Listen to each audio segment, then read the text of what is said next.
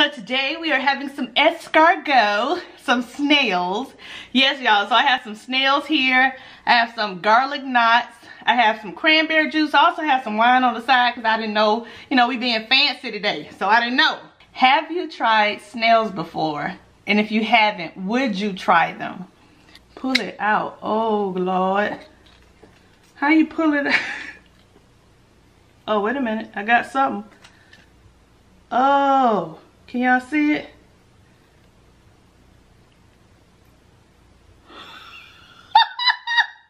oh my God. Oh God. I'm scared now. I'm scared. Y'all look at it. I hope you can see it.